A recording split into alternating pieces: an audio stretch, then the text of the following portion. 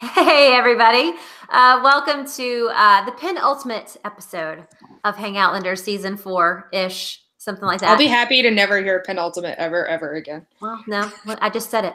So um, I actually did have a tweet in my queue and then it did, went away for some reason. It was just like, next to last episode of Outlander. yes, I said next to last because I'm getting sick of everybody using penultimate. Nobody uses anti penultimate. That was last week. You all think you're smart. You're not. Anywho, welcome. Hi, I'm Beth, um, and I'm eating peanut butter M and M's, and I'm wearing a dirty um, sweatshirt. And I was just telling everyone that um, I used to dress up for Hangoutlander. Like I used to have cute clothes and wear jewelry and stuff.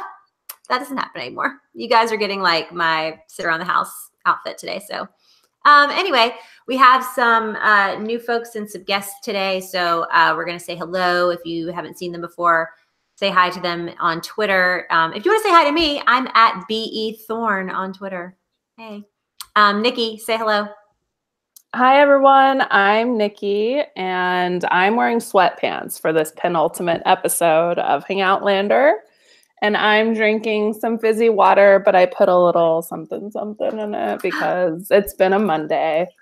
Um, and that was, it's been an episode of Outlander. So I'm very excited to talk uh, about it, and I'm very excited to see all of our friends here tonight.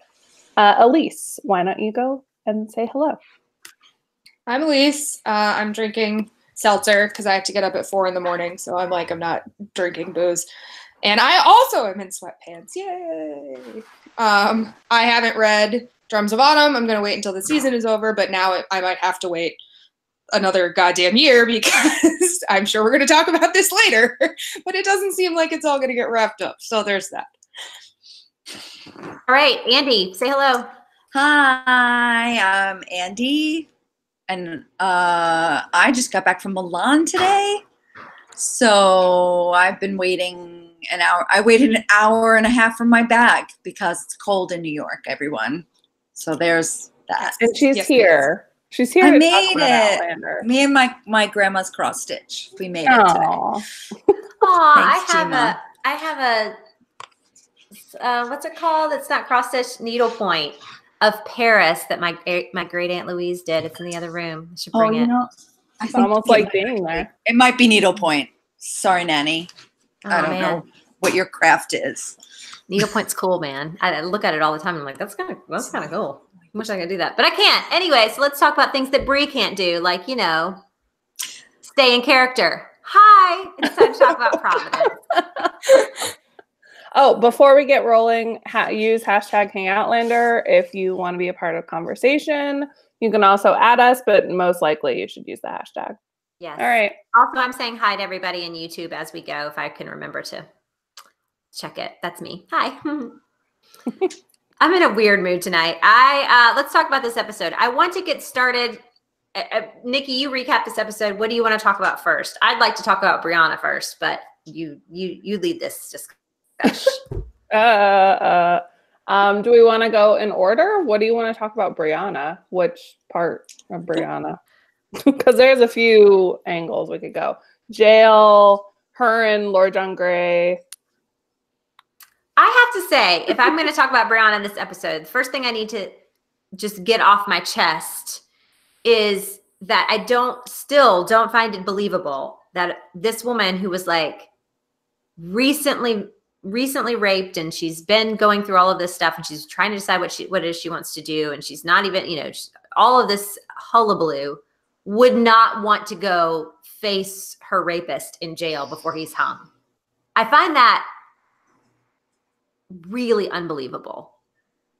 Yeah. And then and then when she gets there, there's this whole idea that she's there to give him some sort of absolution for her own self, to give him forgiveness for her own, you know, edification. And yet, she gets in there and she's like, You're never going to know this kid. And like, you're going to hang by the neck. And she's like, Really, you know, she's destructive in that moment and not trying to like do something good for her own self. And so I don't the motivations are so cloudy and so strange that it still remains one of the dumbest character choices I've ever seen. Yes.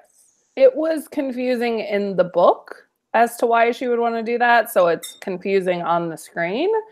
Um, at least in the book, she had some sort of moral compass and was trying to save Stephen when they knew the place was going to blow up.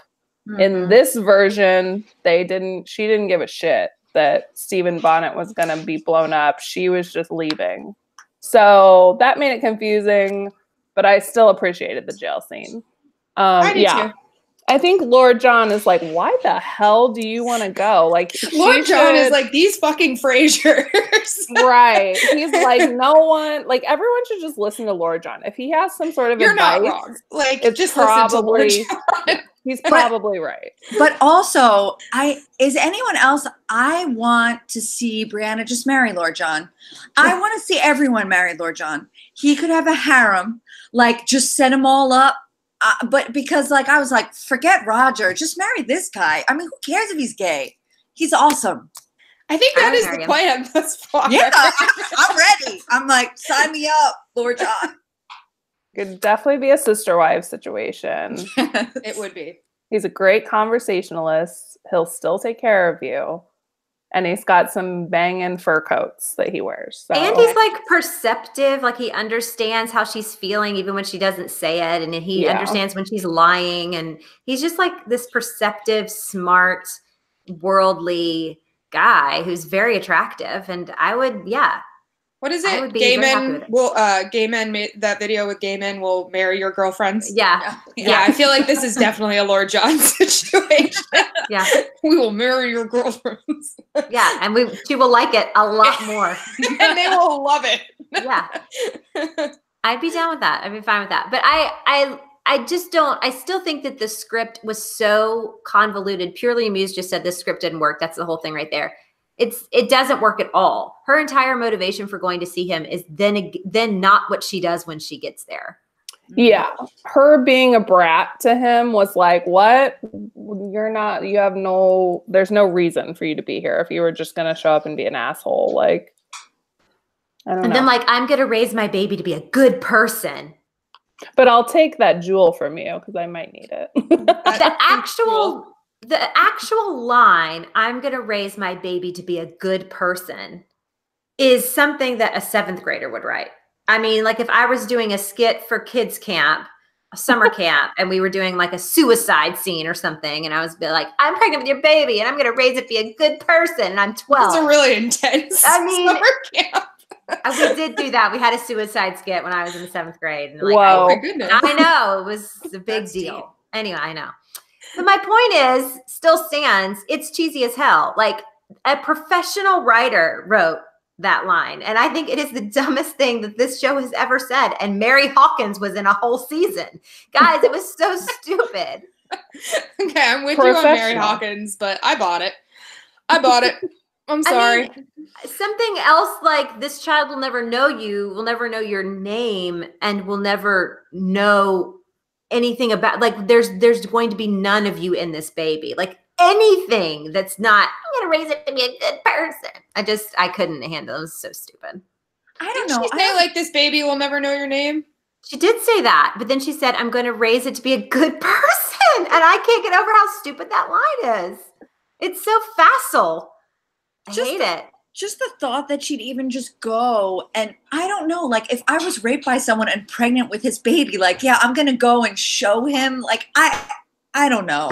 It was like, oh, here's your baby, but also haha. Like, I don't know. it So was just weird. we all know that she does this or they wrote it this way because Stephen Bonnet is probably going to live. No spoilers. I haven't read. I read Fiery Cross, but I don't remember anything that happened except some dirty diapers. Well, also, So- like, if they didn't verify in this episode that he's dead, then I'm like, well, you're alive. So Yes. Yeah. And But I maybe know- the key is him being out. I was still fully believe like I still fully believed that they could have brought Black Jack back. Like maybe they he was a corpse, maybe he wasn't. yeah. So um so if Stephen Bonnet comes back, the entire like conceit is that he will be after his son or daughter or what whoever she has. And so I he's don't see never that. going I to don't be think he gives a fuck. I know, but He they gave her the jewel. that he gave her the jewel. He said for his maintenance, and there's this whole like zoom in on Ed Speleers' face where he's like having this he's just very intense looking at her about it before he gives her the jewel. And I really think that that's kind of the point is that eventually something is going to pop up with whether or not um, that baby is his and what he does in relation to thinking that it might be. And that's what they're leaving it open for. And if he didn't know that she was pregnant, that would never come back and they would never bring Stephen Bonnet back and it wouldn't matter. But I still think that they should have found a better way to get her her motivation for being in that jail cell and then what she says once she's there should have been way different and way better because it was stupid. Thoughts? Yes. Sure. that Um, was a big lull, guys. Yeah. Um, Sorry. but we need to talk about gonna method, Twitter. That was it. I we thought need the to talk about Sophie method. though, because if you guys Uh. were on our Instagram and you saw the scene that I put on the story, I don't know if anybody has guessed what we need to discuss in that particular scene, but I didn't see it. it's where she first gets to Wilmington with Lord John, and he's like, "Is she?" And she says, "If you ask me if I'm, I'm sure I want to do this one more time, I'm going to scream or whatever." Sophie's delivery was so bad in the entire episode, I could not handle it. I don't understand how the girl How's the reverted back to this. I mean, she did okay in some of these episodes, and then she reverted back. She's so breathy. Everything's like this. And she's like, it's like her throat hurts. It's so bad. And I just don't, I don't, I don't get it. I don't get how there's No. not a director directing her out of that type of delivery. I don't understand how we're still okay with it. I don't, I don't know how anybody's been like, she did so good. I don't, I don't understand. I saw earlier a tweet in our feed that was like, "It's been great to see her grow," and I was like, "Have we?" It feels like she's reverted this last episode into her monotone, no face facial expression. What I'm doing right now, um, it's, it's just not interesting to watch. And you know, we're back at it again. Like you said, there needs to be a director. and There needs to be someone to just, hey, let's try it a little more animated let's do another take with you really you know overworked about this or you know like anything give her something she's not doing it it's Well, not Heidi. Heidi just said in the YouTube chat that apparently she filmed a cut where she was in tears the whole way through. Yeah, Do there's that. a thing on Harper's Bazaar Where's that like that? she was in tears and she couldn't stop crying after. She Then said what- that about lots of scenes. She said that she also filmed a whole cut of the rape scene that she did this whole thing where it was on her Yeah, they face. did and- a they did a close up the whole rape scene apparently. That so are be they? on the the- extras. I'm gonna just. Do the editors hate Sophie? Uh, do the, The I mean, might hate Sophie because it sounds like she's doing multiple takes and there's some questionable. I don't know if the whole like segment with two directors things goes as far as the edit room. Like you get to edit your own episodes type of deal. But yeah, it sounds like there's choices being made in edit. Whoa, whoa, whoa, whoa, whoa! Somebody just said they think that Kat is a worse actor than Sophie. What? Look, Mm, no Well, mismatch 911. I appreciate no. that comment, but I must vehemently disagree with you. Sorry. Um, I don't think there has been any other actress on Outlander specifically that is as bad as Sophie, and that includes Mrs. Fitz and the aforementioned Mary Hawkins. mrs fitz over actor mrs fitz No, Mrs. Fitz was fine, but Mary Hawkins was not. Was Well, yeah, Mary Hawkins was the worst, but she was also like Um, the worst. Jay Lachey- on Twitter, Jay Lachey pointed out that Sophie has kind of regressed to once she's since she's arrived to River Run, which kind of brings up a good point. They probably shot in like chunks, like Yeah. everything Yeah. at River Run was shot. So that might have been earlier in her schedule of shooting, and she has since come out of that, but we are seeing it out of I don't know, whatever. It's Do you- not great. Do you think? Do you think they're kind of maybe that? Uh, the only thing I can think of is that they directed her in this sort of regressed, like face, like not no affect sort of. I, that's the only thing that I can think of because in real life she is so animated and so lovely, and I just don't understand like where. I The think they disconnect directed is- it as she was supposed to be like battling with the emotions, and it came out as very like stiff and forced. But then was she's kind of how I battling took emotions in every episode. everybody's always battling emotions. And so every time she battles emotions, she just does this thing where she's just nothing. And that's uh. it. And you're just like, oh my God. Anything else. Lauren Lyle is is telling the horses to go on with more And expression more on her face. Oh, I did like when she's like, walk on. I'm like, you don't want the horse to walk. you want the I- horse to run. I mean, I just there there's there's nothing behind what she's doing e- ever. Yeah. Uh, I don't know. Maybe if she picked it up from to- Lord John Grey and she was like, I got to go super British on this and just have no feelings. He shows more feeling and just a look Yeah. than a line, an entire, you know, soliloquy from her. So I don't know if it's going to change. It probably won't. Maybe she'll get better as time goes on, but As soon as she like, Two more as soon as he seasons. pissed her, as soon as he pissed her off, I bought it. I, I got I got anger out of that. yeah, I mean, bitchy, bratty stuff, but it I totally like, did not get bitchy bratty. I got like fuck you, with the exception of Beth's least favorite line. No, I hate I'm going this. to raise her to be a good person. Um, so that happened. Uh, I'm trying to read a little bit on Twitter. I can't ever talk and read at the same time. I know, same thing. Pretty much everyone agrees with us. It's not changing. Uh, meanwhile, over in the Mohawk camp, Roger has arrived and is sort of living his life and is being kind of yelled at, which opposes, kind of juxtaposes what happens in the book, which is where he's a little more a part of the crowd. He's kind of seen as a guy who's helping. The women are, you know, into him in the fact that he's helpful and handsome. I did like that. Like he's like, "Oh, you speak French? Get me out of here!" I'm like, "Whoa, hey, ho!" Me? she said like three sentences. Like, chill. yeah I, I think you're just like looking for any lifeline and she was, was like, "Can you help me get out of here?" She's like, "I'm literally holding a baby." No.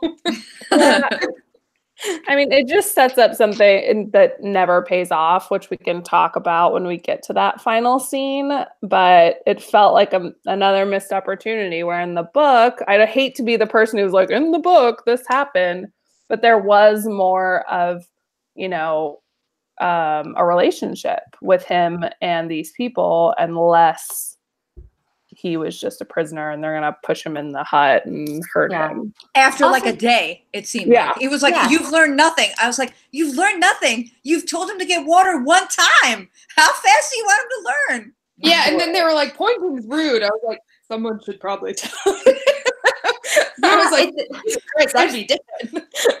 having him like why did they spend so much time with him walking through the woods they, they could have spent that they could have spent that time showing him in the camp spending time with them um, and letting them get to know him letting him get to know some of their customs and letting them like letting that those animosities and those affinities develop naturally instead of forcing them into one episode. And didn't you say that it seemed like um i can't remember this particular native woman's name joe hate joe it's almost like jonathan but Yeah. I That didn't bother me. it There were, like, Johi no John or names. something? Johi John, I think, or something like that. yeah, but you said, I think you said that she had a type. Obviously, she's into white guys, but white like, European men. yeah, but I think he does too. He's always into like women who have babies already. There's like the woman on the ship, and there's this girl, I His was like, wait. ancestor. and then there's going to be, uh, you know, he was at one point into Claire. You know, he was all he was into Claire in season two. Let's be real, like really was into See, Claire more than in the Brie. book, I was like, "Oh, you're like real fucking into Claire." And like eventually like, he'll be into Brie. But like he finds the woman with the without a man, but also a baby, and he like latches on and he's like, Help me. Or let me help you. Let's help each other. he's yeah, he's real big into to helping the uh the parent the mothers. I'm surprised he didn't kiss her on the mouth like he does Fiona and that other lady from the ship. Yeah.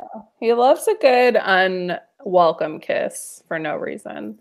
Um Is that and a thing? Did I miss that? yes, he kisses Okay. all these women on the mouth for no reason in Drums of Autumn before What is he goes like? The guy from Price is Right? Like, It's very weird. No, wasn't that Richard Dawson? That was yeah, who Family would just Feud. like make out. Family feud. Uh, Dawson. Oh, and we know nothing really about. I can't even say her name. Jonah, didn't Jonathan. Ever say her name, which bothered me. They didn't say They did any one time, and that's how I Did knew how to look it up. He Okay. she says it to him, and I was I'm, like, look- I'm look it up. Well, it doesn't like- matter. I won't be able to pronounce it. But And the guy with the blue spiky hair who later played a larger part, I his name starts with a K, but I had to look it up.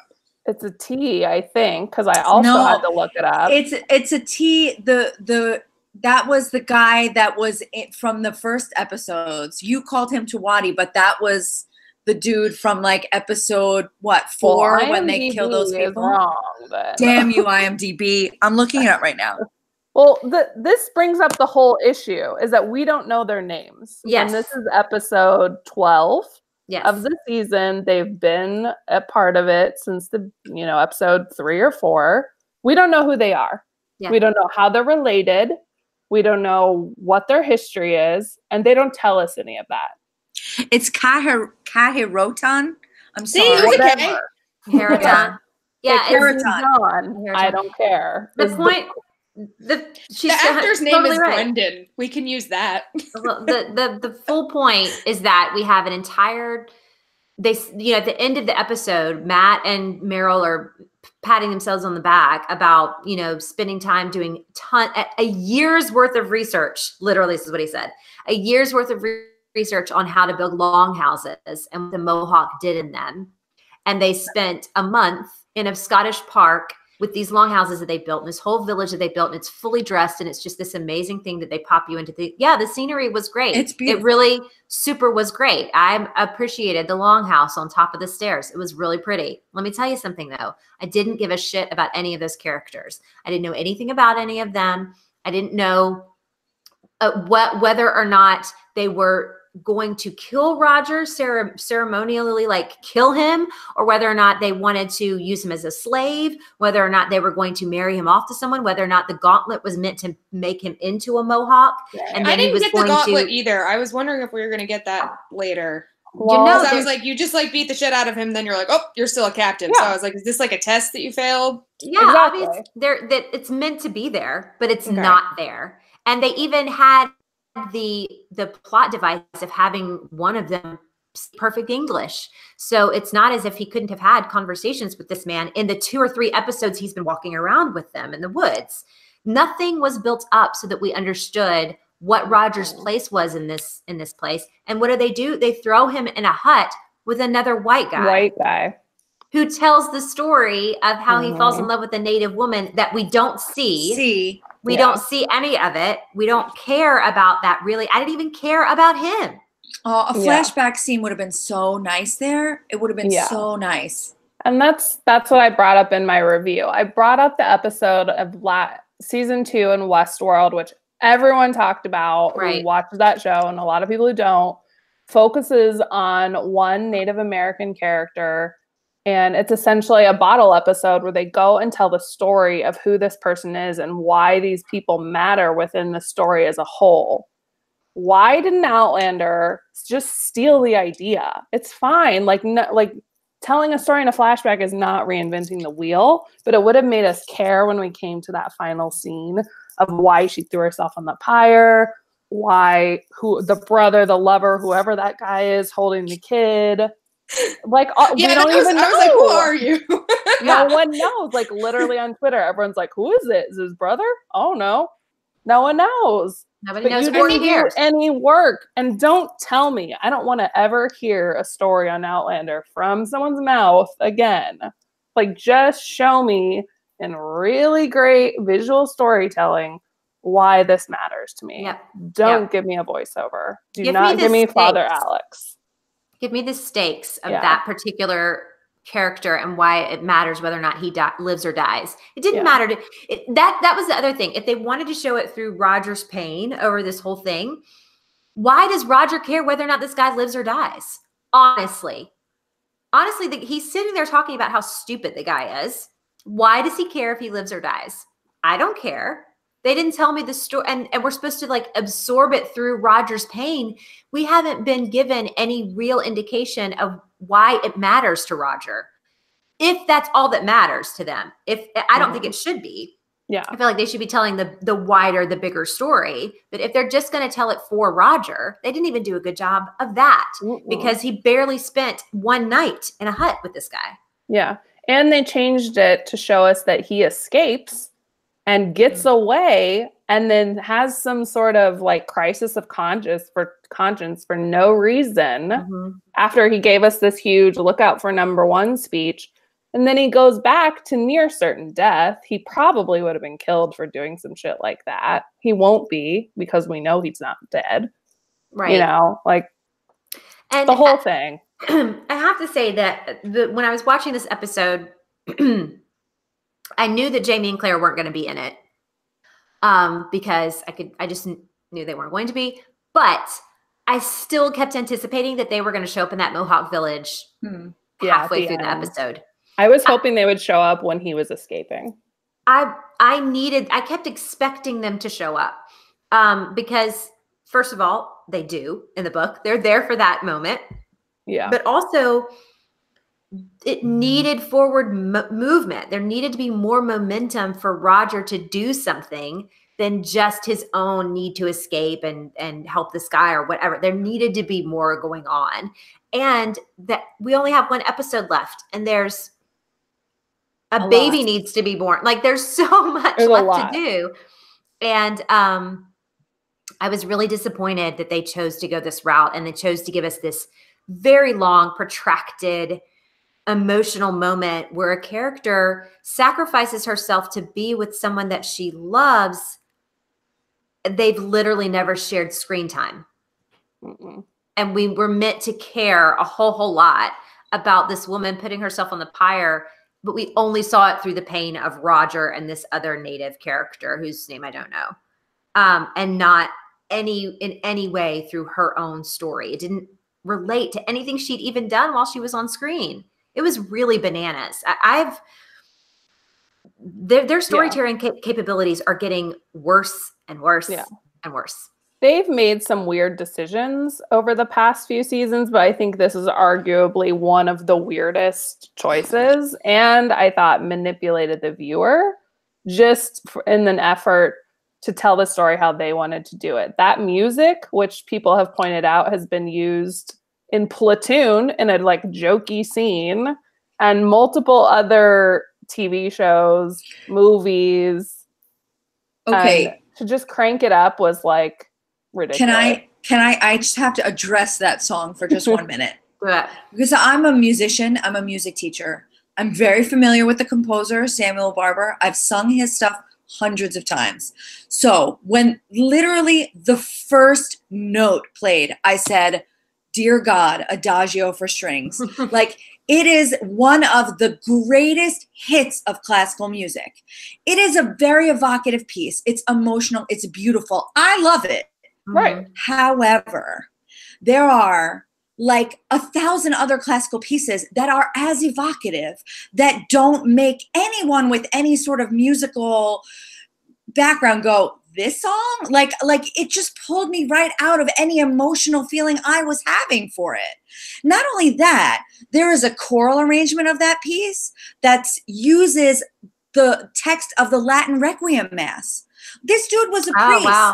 Oh, Like, like why about- would you why would you not use that one? I was like why didn't they use the Agnus Dei? It's the same music but latin choral from a requiem mass. Like it's that's a no-brainer Yeah. there isn't there a music supervisor i get why you wanted to use it but a music supervisor's job is to be like guys i know you love this but how about this you know like i i was just i love the piece but it just made me mad Yeah. i thought the- it was emotionally manipulative yeah. I The song it. on I it. cried. I It cried a lot. for you. But that's what It they worked. wanted. That's what they wanted is you to have kind of like this manipulated emotional moment with characters that you don't really care about, and that song allowed them to do that. Don't No, aren't you kind of like whole irritated that they manipulated you that way? Nope, not at all. They went last to the Mohicans for the whole thing. They literally you did. care about those characters. Last, no, Last you don't. though. you don't know fucking anything. I love Last of the Mohicans. It's in like my top thirty movies, I would say. But you don't give a. Sh- you only give a shit about like the bad Native Americans who are killing like the chick's father. You don't give a shit about any of the two guys that are with Daniel Day Lewis and What? the actual Last of the Mohicans. All they tell you is like they're the last of the Mohicans, and then the poor guy kills himself at the end. Uh, no, he falls off. Spoiler cliff, alert. And then the girl kills himself, and there's that whole She fucking. kills monster- herself when Uncas dies. Stop. Yes, okay. Ruin- that, that movie is my jam. Don't. That movie was beautiful. They la- it is beautiful. They Last of the Mohicans it, but they didn't achieve Last of the Mohicans. Yeah. Um, s- Heidi in the YouTube chat just said that there was a sale on stock music. LOL. Yeah. I'm laughing seeing that comment. um, I mean, look, there's other times in other shows, in other ways that people have used manipulative music. I cannot hear a single measure of anything from Schindler's List and not like immediately bust into tears. Like I hear those violins and I'm like! I mean, like, and that's ridiculous. I haven't watched Schindler's List since 1994, but it doesn't matter. It still does that to me. So I, I mean, I get why they used it, but it's stupid.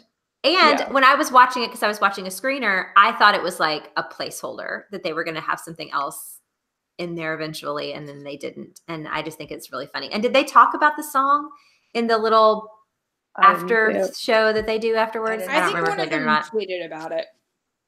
Not Matt B. Roberts, because let's just do a little aside Yeah. right now. Guess who doesn't have a Twitter account anymore? What? Yes, everyone wants to talk about the all the drama that has happened online with some of the uh, Outlander production folks. Matt B. Roberts deleted his Twitter because I guess someone went after him personally, which don't do that. That's weird. Don't go take it real life. Don't be weird online. Um, and then what else happened, Elise? You were mentioning Uh, the weirdly sexually driven chick from EW said that Richard Rankin deserved an Emmy, and people went fucking nuts, and it lasted for like days uh, on both sides. So there was a lot. Hmm.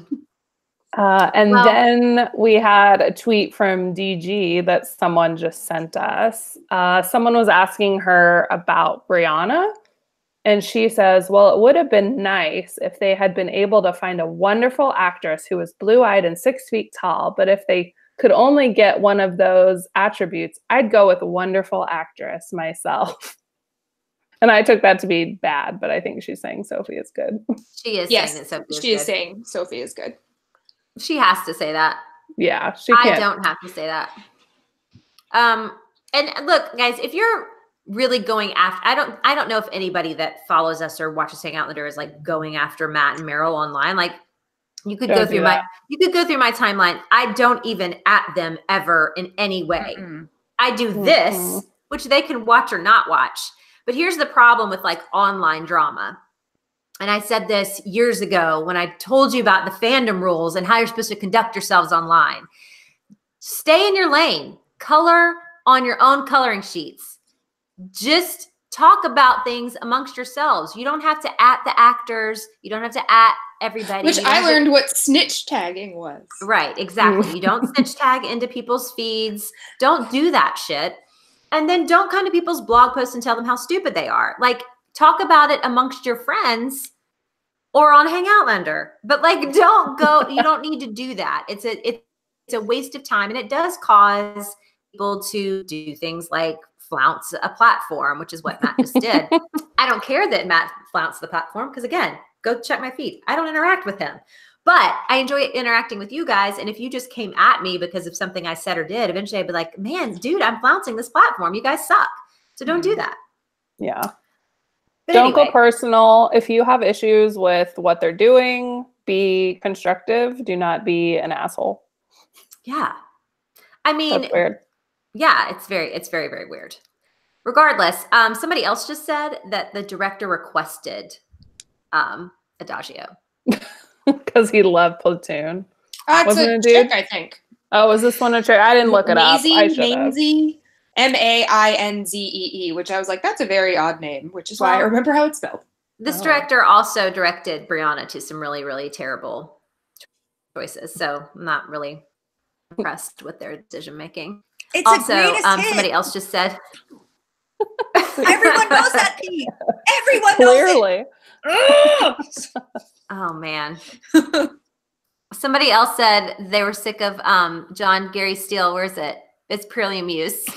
That's what she said. She had an issue with Jon Gary Steele's work before, but that idiot thought was dumb and filled with fake leaves found in the clearance bin at Michael's. No. That hut was cheap AF. Like I could have lifted it up. It did not make me feel like Roger was really securely in any sort of. I did wonder how, yeah, the door was out. secured. I know, just like punch the door out, even though there's probably some dude standing in front of it. Like that was think that was literally mainly how he stayed in there. Was there was a dude standing in front of it? Was the impression that I got. Yeah, it didn't seem very Also- secure. Why didn't Roger do the old elementary school thing on like the sandbox where you use your feet to like dig like this? Like Yes. you would be out of that thing so quick. Don't use a little water scoop or whatever. Your fingernails. I'm gonna have to Google this sandbox technique. Yeah, we're just like you like fruit. do your feet forward, man. we don't do like that that- in Vermont. There's no, it's too cold. There's no sand. we don't do sandboxes. No, no. It's, That's it's what they're snow up in maybe, but Arizona, so. my gosh. Um, let's discuss uh, the fact that did we already discuss the fact that there's no Jamie and Claire in this episode? We did a little bit. a little Just bit. James, those, I mean, they're there, but they don't actually have any. Yeah, there's the Jamie letter, and That's there's like not a in this little montage. I know this is the second episode of the series season where they have not really been a thing. They have not been. what been was the other one? I don't even Uh, the one Uh, where it's the all the sixties. Yeah. The other, festival. the other one Oh, I reviewed. No, it wasn't the festival one. It was the one. It was after that, I think, because the festival one. Oh no, it was when she went through the stones. Yeah, Yeah. Yeah. That the one. I Oh, reviewed. where So she- I've gotten no where we Jamie spent- and Claire. Ten minutes of her in the Highlands. Yeah, and then all that time with what's her Yeah. name? and that's what I was thinking about today. Because maybe we could. Well, should we talk jailbreak and then talk what we think is going to happen next week? I fucking love jailbreak, so let's talk jailbreak. I Yay, love a jailbreak. jailbreak. You could give me a jailbreak or a high stakes, you know, bank robbery any day, and I'm like so in there. And that's also why I Also- like solo, even though you hated it, Beth. But I think this is probably one of the more exciting sequences that Outlander has done in quite some time. And I thought it was cool because they brought together characters that hadn't been together. There were stakes, they might be blown up, which I think they could have heightened even more, but whatever, you know, baby steps. So Caesar, is that how you say it? C- Yeah. Caesar. Cesar. Cesar. Uh fucking killed it this episode. Oh, he was good. He was he's so very good. They had like a fucking twenty-five thousand dollar jib shot of him that I was like, I'm here for this. uh, I was I was in it. Thanks, Jibop, whoever you were. That was great. Um, I, yeah, them getting into that like formation, like just like you Oh, know, I like was like, yeah, V that was formation. I was like, yes, that I was, was great. living for that direction. yeah, it was it was awesome. I definitely got some some Jamie vibes from. I got like little baby Jamie and Claire vibes from him and um, Lauren Lyle this episode. She cracks me I- up. I love them together. I love Lauren, Lyle, and Caesar, and I love that they mentioned like, what would Jamie and Claire do? Like, Oh, I know they're we're so gonna like cute. channel them. He and, also like, just has this face of like, oh fuck, I'm in trouble, and she's like, I know everything. Like, don't. You're playing with thimbles. Like, what else would I assume you're doing? I did like him, like kind of, you know, figuring out what he was going to do, and her coming across, and just, I mean, it was just a, it was a very, very good married moment. It was very Mhm. sweet, and also like, I love the fact that he's he did learn from Jamie. Like he had his own skills when when Jamie picked him up, and then they they flourished into something really cool. And I like that he was doing what he needed to do with that. That was really awesome. Also, And Cesar like Domboy in real life is fucking hilarious, and all he does is like go to Celine fashion shows and like live it up in Paris. And I would like to be him. I would like to be Lauren Lyle. Her life looks Like- awesome too, and she's hilarious. Oh, it is. She's so funny. Her and how she hangs out with Nell Hudson all the time. I'm like, Oh, it's is so cute. right. Yeah, it's very cute. They're so adorable. I love her. I want to be her Yeah. And way more than I would be anybody else. for in the cast. sure. And here's the thing: they this these these parts are supposedly written by the same people. So where is the disconnect between obviously the disconnect is the actors, but you know, I think the disconnect is trying really, really hard to shoehorn in some sort of like literary, thematic, like what they think is like this erudite story arc, for like especially for Roger and Brianna. Roger and Mhm. Brianna aren't that deep. They aren't that interesting, and they aren't. Nothing about them is when you when you look at Jamie and Claire. Jamie especially, even Lord John, Jamie, Lord John, Claire. They have a very complex set of like worldview and belief system and the way that they do, especially Jamie, the way that he does things and the reason that he does them. It is a endless well of interesting rationalizations, interesting character traits. And there's just a lot going on with Jamie Fraser and Claire Fraser and and and Lord John. And Roger and Bree aren't that interesting. They're they are shallow puddles in comparison. Eh, well, yeah. And they're trying really hard to shoehorn all of this. I mean, Roger giving this big long speech in the hut about his love and how stupid he is is legitimately made me hate the character. Yeah. Because it was so there are way more things that he's done that I've been p- more pissed off at than that. I, Well, sure, I I actually think- liked that I've been pissed off at him because he I- was just so fucking frustrated in his weird like 1960s way where he's like, "I'm an idiot." I was like, "That would be me." Honestly, yeah, but it's not going to be easily rectified in one episode now. We've they've set up him having enough issues with what's happened that it's going to drag on a little bit.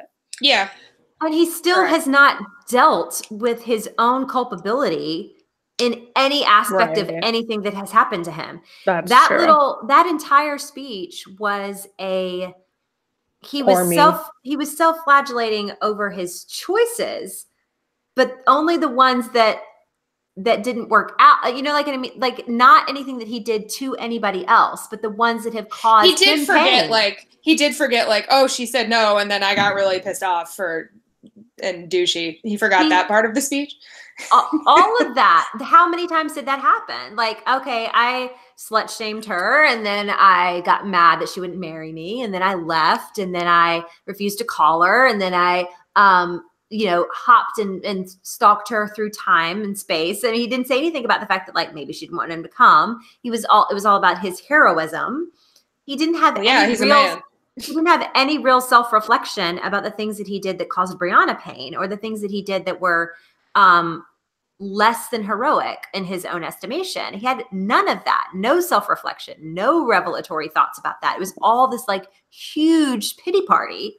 Literally was all he was doing.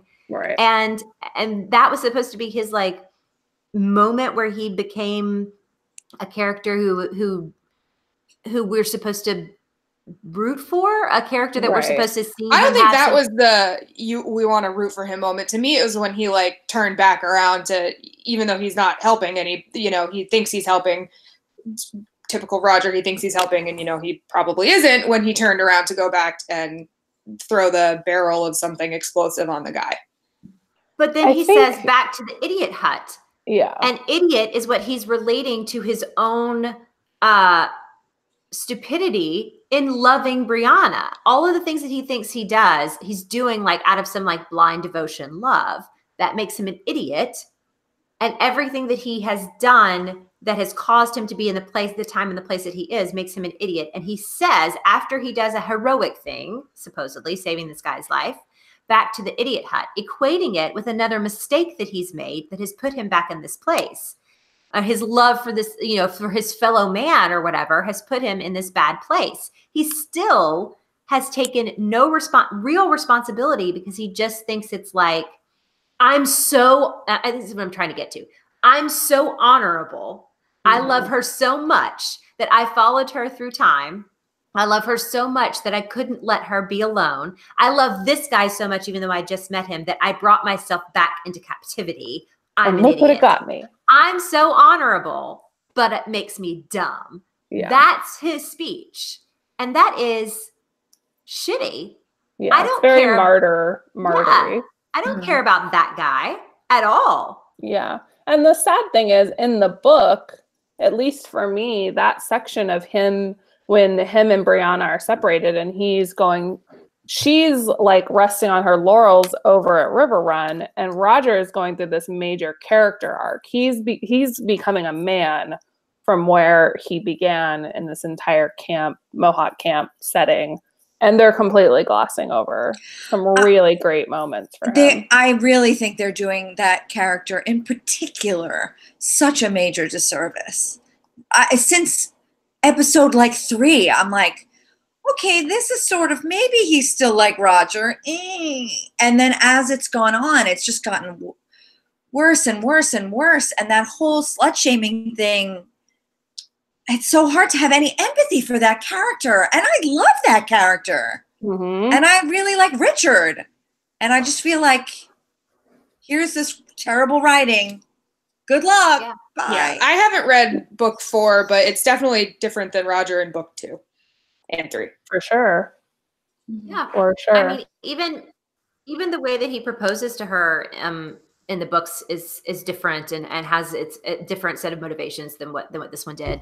And you know, I just I don't care about him. I don't really care about her journey with Stephen Bonnet. Like they haven't really given me a whole lot to like grasp onto. And I want to. I want to care about that. And I just don't at this point. Um, but I was really disappointed with the fact that they wanted this to be his, you know, Emmy show or whatever. They wanted to really showcase Rick. And what they gave him was uh just pablum of of like male tears. Um and you know, even him turning around and saving this guy was so it, it just it, the motivations behind it he he looked like he was just irritated that he could hear him screaming it was like if i can get farther enough away where i can't hear this guy screaming i'll be good. But i can't. I can't run that so I fast have to go back. he's screaming too loudly. So if somebody could like turn the string so that i don't have to hear it anymore then maybe i won't have to turn back. I really think like if he had gotten farther enough away he would have just kept going.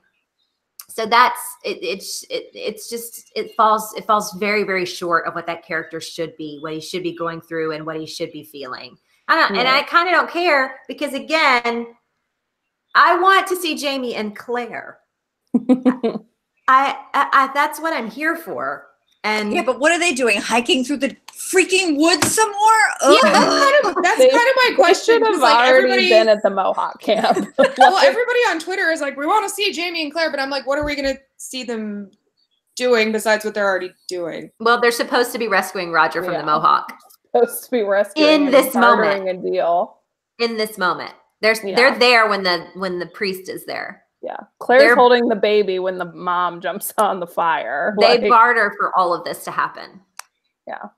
that's what they should be doing Um, I want to take it back to the jail scene because Twiddly D tweeted, "Do we think that there will be any consequences to the fact that instead of one of Bonnet's henchmen blowing up the place, it was Murtagh's rescue gang, the Regulators, Dude, I doing don't, the e- we're, I don't even know what the hell they're gonna do with Murtagh. Like, I'm, I'm beyond. well Not that I Uh, don't like it. I'm just like, where the fuck are we going? Yeah, I think it it presents a really interesting some interesting options that they're going to be exploring and for Lord John to be there and see that it was hi- uh, Murtagh and the regulators and Fra- uh, Fergus who did this. yeah And we know he's pretty honorable guy. and at the same time there's no other there's nobody else to i guess say who it was i mean they killed didn't they kill the guards or did they just i mean No, blew? Brianna was like, we got to take him out. Oh, okay Mhm. Yeah. well So they don't kill Well, anyone. but Lord, but, but- they did ask. Lord John asked. They said, "Oh, do you know where they're taking him?" And Lord John was like, "No, I don't." Even Brianna gave him a look. She reacted to something. It was a miracle. They're doing one of barely. those winks. barely she's like i have Uh, a sigh I definitely think it will all come back next season because the regulators will be probably, hopefully, made into a bigger part of this storyline. I would crack up if they just drop it off because Yeah. here's the thing. And next week, Murtagh is in River Run with Jocasta, and we have been Right. saying there was like some weird slap going on in the she like preview. looks like she They better- a, throws a drink at him. So we've been saying from from the beginning of knowing that Murtagh was going to survive instead of in the books having died, that he's going to take the place of Duncan Innes and Yeah. eventually marry Jocasta if that's the case. And if that's beginning here, I would crack up if the entire regulators plot was dropped next season in favor of Murtagh just marrying Jocasta. That would be ridiculous and stupid. they just drop it. I I wouldn't be shocked. I would not be shocked if that if they did that. Oh my god. I I will be so sad because it's been the maybe the most interesting plot point that they've come up with. I mean, oh it's a That'd be crazy. distinct possibility that they're going in that direction. Uh, so that let's talk about it. We have one episode left. We know we have a huge chunk of story left in Drums of Autumn story to get to. What's going to happen next episode? What's your predictions, Andy? I mean, how? So they'd have to get Roger, get him back to River Run for Claire, because I try not to watch the like coming up next week. So I didn't even watch that. So like that either. whole slap thing. So they have to get Roger, get back to River Run. Is Roger going to walk back himself? I don't know. I don't. i- Is Claire even Deliver going to the get back? baby. Yeah. Deliver the baby. Uh, Jamie and Brianna have some sort of, you know, they get over it moment. They got to get back to Fraser's Ridge. At this is some all point, after Roger what has. with the Mohawk. Yeah, this is all yeah, we're None trying of not to this So basically, that. they're saving half of this for the premiere of season five. None of this is happening No, how could next week. None of Could it. be. Yeah. So next week, from what I can tell from the couple of clips that are in the upcoming, next week is going to be them getting to the Mohawk camp, them trying to figure out how to rescue Roger once they get there. So there's going to be probably, I would say, halfway through uh, some sort of Mohawk, you know, skirmish where they, they get Roger and then they get back to River Run. Brianna at this at the same time. Murta and Brianna and Lord John are going to be back at River Run, and eventually Brianna is going to go into labor. Guess Cut. who's not going to be there? Claire. Fucking Jamie is not going to be there. And let me do you be see the pissed. look? You see the Oh. look on my face? I about forgot that about little that. bit? You're right. Look, look at my face at Jamie not being there for Brianna's uh, giving birth. That's I the am- best part of that book. Yeah. That's one of the best things that ever happens to Jamie in his whole damn life. Yeah. Okay, Yeah. legitimately one of the best moments of his life. And guess what's not going to happen next week? I'm if they incredibly take that pissed about it. out, I think fans will freak. Book fans. Maybe at least. like they pull up as she's going into Guys, Guys, conspiracy no, no, no, theory. no. That's why not Matthew that Roberts proactive. left Twitter. He didn't want to. He didn't want to experience the fallout. That might from be that it. happening in the finale. It I love be. your It- conspiracy theory. That's so true. Oh god, now Twitter's gonna explode. So this little picture right here, can y'all see? It's yeah, kind I was of wondering white. if we were gonna talk about that. She's Re- running towards retweet it. something, and she's Um, not pregnant. It's on our Insta story, so I can't. I have to like Oh. save it and then retweet it. Anyway, it's Brianna running out of River Run, not Oh, pregnant, no. not Oh, even no. remotely pregnant. What's she running towards? Let's think about it. She's running towards Roger. Roger? No. Um, who's bringing Roger to River Run? Jamie. Jamie, Jamie. and Claire. No. at the very least, Jamie, right? Maybe Claire went ahead. Maybe. Doubt it. Guys, they're not going to be there for the birth. if they take that out, that will be that's that's a high price. I cannot. Maybe tell Lord you- John will be there. Ugh. Lord John is hundred percent capable. He could give us cesarean section. Like I'm sure he is does not bring the emotional weight of having Jamie and Claire at the birth. I'm sorry if they take that out. I don't even know. I, I, don't mean, know where to go. pitchforks. Oh, for sure. pitchforks for that. I, I- because there's there's plenty of things that can change. There's lots of reasons to change lots of things. We've That's said that over and change. over and over again. The choice not to have them there for that if that's what happens is purely about time and about other emotional points that they want to make in this finale. One of those being Brianna and Roger's reunion and making that a bigger deal than Jamie and Brianna's Mhm. reunion. And Jamie and Brianna's reunion is not them running together up on a beach like the reunion, like the It end of is a season slow three. burn. It's a slow burn of reunion of emotion. And Yes. her giving birth and him helping and being there for that moment is the climax of their reunion. Mhm. And they're not going to give it to us. And I'm real mad about it. So I just I want everybody to go ahead and lower their expectations or go ahead and write your Twitter diatribes and your Twitter threads now for when it doesn't happen so that we'll all be ready to just do it then because they're, they're Get it's not going to happen.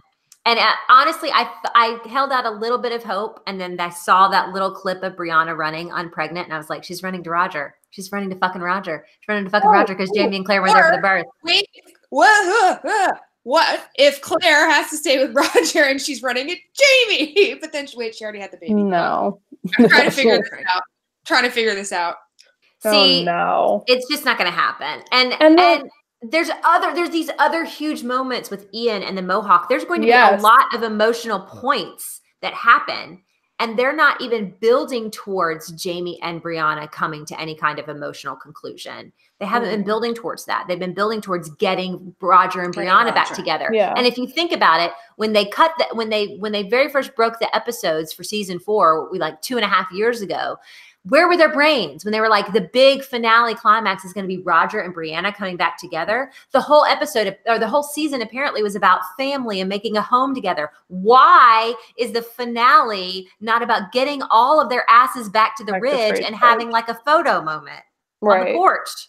It really cheapens Roger and Brianna's reunion if they do it at River Run and not after the birth happens and after Roger has a come to Jesus moment and comes back. It cheapens them coming back together because they've already cheapened their relationship to where so many people don't believe they're in love. So they need to earn the slow burn of them coming back together. You can't do that. I'm sorry. You can't cut that. Okay. So Heidi in the YouTube thing just said Claire is with Brianna pregnant at River Run. You see it in the preview. She tells Brianna that she needs to get her out. You cannot see Brianna in that little clip. You cannot tell that she's still pregnant. So I don't know that's for sure. But I'm hoping that it is. My dearest hope is that somehow Jamie and Claire find their way to River Run way before Roger does. Okay. In the Hmm. book, it happens, but we already got see. Okay, in the book, he like decides to stay and wait and decide what he wants to do. He gives himself all of this space to decide whether or not he wants to come back to Brianna or not. All right. But we already had the moment where he found the stones, and you know, we didn't see him deliberate over any- anything, but we already also had this long we don't have time for Roger to decide what he wants to do unless they want to just like do things quickly. Have Jamie and Claire leave him by the side of the road somewhere and be like, okay, we'll see you at River Run, Hmm. which doesn't sound like what Jamie wants Right, to maybe- do because Jamie Maybe has been talking about bringing him back. with Ian or something. And Ian has I don't know what Ian does with the Mohawk, but maybe Ian is I don't want to ruin that for you. Native American No there. is bonding with the Mohawk or something, and they're like, "All right, Roger, you sit in the corner. I'll become a Mohawk." It it boggles the mind that they wrote in things like that entire unnecessary Laoghaire storyline, wandering through woods for two episodes behind the Mohawk, and yet we're now at a, a point in the series where let's cram it all into one episode, or we just won't do it. Like, what? Who's making these choices? Like. The Laoghaire storyline was the dumbest thing ever and wasted like Is an it a s- entire episode. Is it longer? Is the finale going to be longer? Am I No. making? No. No, Just an hour. That's hilarious. yeah, I was kind of hoping for like a Game of Thrones like two hour mini movie. Yeah, I was like, maybe it's an hour and a half. I've literally been telling myself it's going to be an hour and a half. Yeah. If it was an hour and a half, I wouldn't watch it. figure your shit out way before you break episodes and figure out the best way to have the season run and don't do things like the stupid Lallybroch episode that doesn't make any sense with friggin' Laoghaire. Don't do stuff like that. Don't uh, just they just don't they aren't good with pacing. And now I'm mad. It So- it will shock me if they literally thought that would be okay to cut Claire and Jamie, either one or both from Yeah. that birth scene. That would be a bridge too far. Yeah, and I- that's I- what I- Twitter's saying. I think that they're going to want Claire there because obviously, anytime Claire can do something medicinal or surgical, they're like, yes, let's do this. And um, that might happen. I mean, um, Heather, is it Heather or Heidi that might be saying that, that she might be pregnant? Um, that might happen, but I really just, I just need Jamie to be there. I don't even care if Claire's there. I want Jamie to be there. It's Right. important. It's very important. Um, a lot of people have been saying that they're going to be upset that it doesn't end at the gathering. They think that this is one of the best endings of all of the books. It ends Right. at the gathering. Yeah, Sam still maintains this is like his favorite finale. He says that every year, He's- but oh. um, he really saying that? he Yeah. says that every year. He said it like a couple times. He's very, you know, he's on board for being a good guy. He's he doing his job. He also enjoys it when it's like a lot of fighting and all of that kind of stuff, which he's going to get plenty of like mohawk fights and stuff. So he likes that kind of stuff. He's not into like the slow moments with Brianna. I'm just being let's be real. Um, but a lot of people are gathering. upset that there's not going to be the gathering, and despite the fact that that is it is one of the best endings of the books of the ones that I've read. Um, I do like it. I was gonna say people describe the whole gathering to me as like a giant like circle jerk of Scottish people. They, it's the gathering from Fiery Cross that they're saying is the. Oh, is that- jerk. That's okay, horrible. It's the next book. Yeah. So it long. starts the gathering starts at the end of drums of autumn and then it continues for like half of the fiery cross and you're like well i thought it was one day at the end of drums of autumn we're doing the whole thing for another like 27 chapters but at the end of drums of autumn it is really kind of cool Yeah. because they all stand up and are like the frasers are here and the very last line of the book is brianna standing up deciding that it's been a year and a day since she's been with roger since they were handfast and she decides that they want to continue to be married and she stands up and says the mackenzies are here Oh, Yeah. that's so it's It's, it's, the a great ending cap on this part of the story, and it's, it's it's it's not happening. it's good um it w- i don't think it would fit in this season i'm fine No. with not having that what The fits in this season the gap I think that's like a season five premiere. episode. Right. Even having her say the Mackenzies are here is not good for this because he hasn't been in talking about being Roger Mackenzie. She hasn't been talking about really being Brianna Mackenzie. That doesn't make any sense. They've run out of time. They could have done all this. exactly. But the best ending for this particular season is somehow them all back at the ridge Mhm. because they made such a big fucking deal about the fucking ridge being With Yeah. Fergus and Marsali. With Ferguson who are and moving Marsali. to the Who are- ridge. Who are gonna Yay. be Yeah. So there's that. That's a good ending. It also surprised me that they wouldn't want two gatherings to mirror the gathering that Roger and Brianna are at at the beginning, and then Well, the that's what I was gathering at the thinking when end. you said like, "Oh, the Mackenzies are here." It's like the it's a the very thing they were doing. Yeah, Yeah, right. Which was why really it actually odd. annoyed me that it was in that episode that they were at a gathering and he said that. Yeah. Because it felt like it was odd. pulling it from the end. I don't know. We just talked a lot about something that we don't know is even going to be, uh, if we need to even be mad about it, you guys. True. We'll see. very Preemptively soon. upset about next week. I feel like I'm going to be waiting up very late uh, this week to watch it. yeah. See, Brittany Batts on the YouTube chat just said, you never know, the running scene might be a fake out. It yeah. could What if she's dreaming? She what if could be it's- dreaming it? What if That would it's good. Dallas and she wakes up and she's home this is all and gonna JR is in the shower and we're all happy? that would Oh, be really heavens. good. And how are they going to fit like a really good sex scene of Jamie and Claire in there too? Come on, guys! Not a good That's not finale happening. without. I'm just kidding. I don't care about that. I was gonna say, I was like, you're. I thought you did. Like the sex scenes are okay, but I thought you weren't like, yes, let's do it. I'm not. But we have not seen Jamie's scars all season. Because that shit takes two and a half hours to put on. That's why she's live. always on top these days. Mm. You know, from a production standpoint, I understand. yeah, Because that shit is like, oh god. no one wants. Yeah, to I'm tired that. just thinking about it. If they can do Murtagh's wig that well, they have time for Jamie's back scars. That's all I'm saying. They don't have time for Jamie's hair, but they can do Murtagh. Wait, Myrtle Beth, looks great. Beth, have we talked about you getting your uh, your CV ready to send over to be a script supervisor? I saw that. Yes, So, I'm what, so what ready. do we think script Polish supervisors do? Is it just the continuity that like Yeah, people say that? Because I've seen that before. It's only continuity. It is, it's yeah. like them reading through the script while it's happening and making notes and also taking pictures of the setup. Yeah, that's like ten percent of the job though. wow, I'm sure they Yeah. do lots more, but that is the uh Do you, do you not see me like worming my way into being like, excuse me, this is how this is how they the uh have like a story consultant. They Yes. literally have no idea. Yeah. Or they don't listen to whoever they do have Yeah. anyway. I'm sure Di- Di- like there have been times where Diana's been like, uh no, and they've been like, ah, we're doing it anyway. Yeah. So she's like, uh, that's gonna cause problems later on, and they're like, eh, we don't care. Pretty, yeah, I've actually read that. Yeah, they're like, oh, sorry. Yep.